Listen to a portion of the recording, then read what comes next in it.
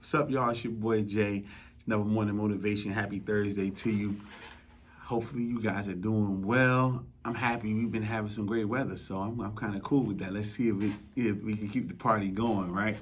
So, listen, I want you. I want to tell you something that I learned that I keep telling everybody. I, every time I get a chance to, I, I repeat this to somebody.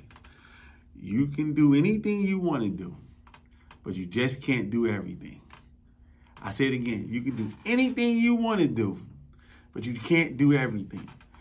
A lot of times, man, we can we can consistently get sidetracked because we're trying to do everything under the sun.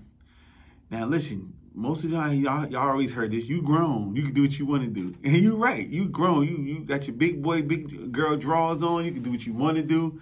Nobody can't tell you anything different. But the truth of the matter is, in order to be successful and in order to do something properly, you only can do one thing at a time. And so, why not focus on that? Why not put your mind on one thing at a time? I'm not saying one thing this week or this month or this year, then to next thing the next year. No. How about you give whatever you're doing for this hour all your time?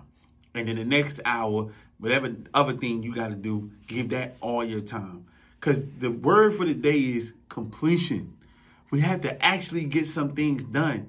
And it's very, very difficult for us to get something done when we trying to tell, we do a little bit of this, a little bit of that, a little bit of this, a little bit of that, and we don't never get anything done. We've done a lot. We tired as hell. We don't worked ourselves to the bone, but you haven't moved to the next level in your life, the next level in your project, the next level in your career because you can't complete anything. So I'll go back to where I started. You can do anything you want to do, but you just can't do everything.